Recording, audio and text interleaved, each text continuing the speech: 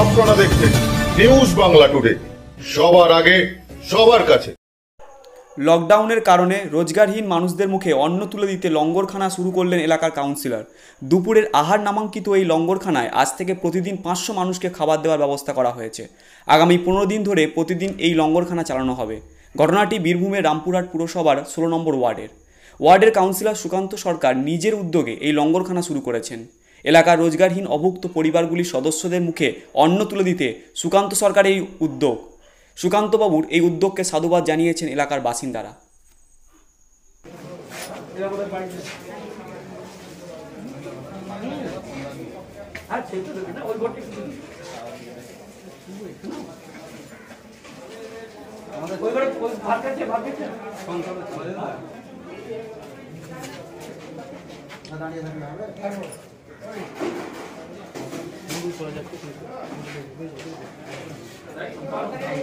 তোরা যে তোরা যে আজকে ওই ঘরে ঢুকি দেবো ওই ঘরে ঢুকি ওই ঘরে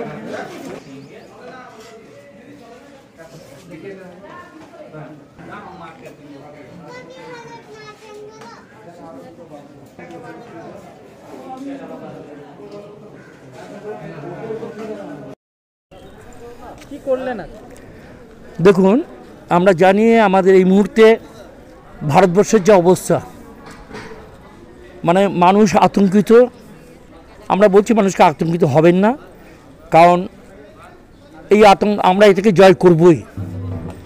আর বিশেষত পশ্চিমবাংলায় তো আমরা পারবই, কারণ আমাদের নেত্রী মমতা ব্যানার্জি, মাননীয় মমতাজি মুখ্যমন্ত্রী, তিনি যেভাবে লড়াই করছেন করোনার বিরুদ্ধে।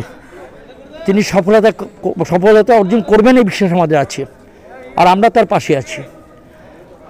আমরা দেখেছি যে ইতিপূর্বে আমরা যেখানে যারা মানুষকে প্রয়োজন ছিলেন, আমরা তাদের পাশে দেওয়ার জন্য সাত কেজি চাল, এক কেজি ডাল, এক কেজি তেল এইভাবে আলু, পেঁয়াজ দিয়েছি।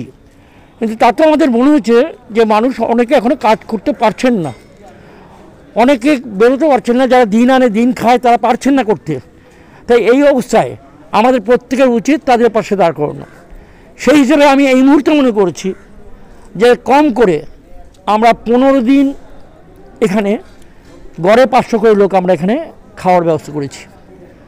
যে ঈশ্বরের আশীর্বাদে আমরা চাই মানুষ যারা আসবেন আমার ওয়ার্ডের, ষোলো নম্বর ওয়ার্ডের, তাদের প্রত্যেককে যেন আমরা প্রতিদিন একটু অন্য পাশে দিয়ে পাশে দাঁড়াতে পারি।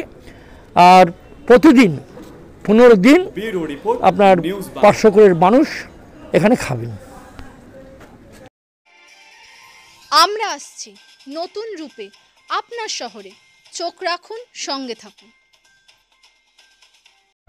দেশ বিদেশ রাজ্য রাজনীতি শিক্ষা সংস্কৃতি অর্থনীতি ক্রীড়া অপরাধ বিনোদন সমস্ত খবরের তাজা আপডেট পেতে চোখ রাখুন আমাদের ইউটিউব চ্যানেলে।